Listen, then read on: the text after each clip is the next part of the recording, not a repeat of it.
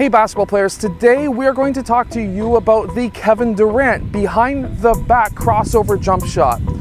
If you are a small forward, this is definitely a video that you're going to want to check out.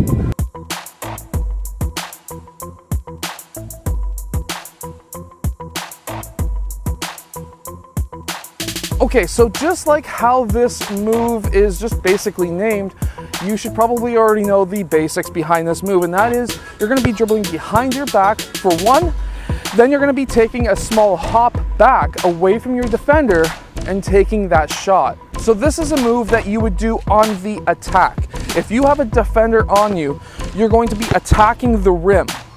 Now, when you're attacking the rim and you find the fact that your player your defender is maybe a half a step ahead of you or a whole step ahead of you. And you have some help defenders, so you can't just spin off and attack the rim because then you're gonna bring in those help defenders. Then this is a move that you might like to use. So what we're going to be starting with is we're obviously going to be attacking our player and he starts getting ahead of us. In that case, we're gonna stop we're gonna pivot our stop. We're not going to come to a jump stop. We're gonna be pivoting our stop.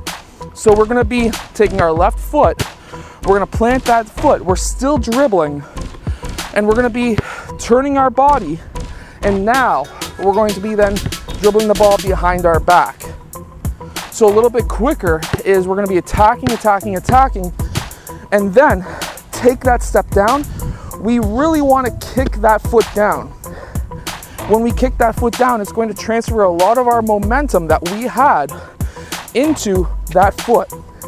When we kick that foot down, now we've got all of the weight on this foot and we want to be on our toe. We do not want to be on our heel. As soon as we go down on our heel, that's taking away all of our power and transferring it into the ground. And we really don't want to do that. So let's go a little bit quicker now for this first part. So what we're going to be doing is attacking, attacking, attacking transferring that power and transferring it into this muscle on our toes. This way, now, after we've completed that behind the back dribble, we can step back just a little bit and now we can get our shot off. So now, what this move is gonna look like is we're attacking, we're attacking, we're attacking, we're hopping off, and now we're able to get that shot up.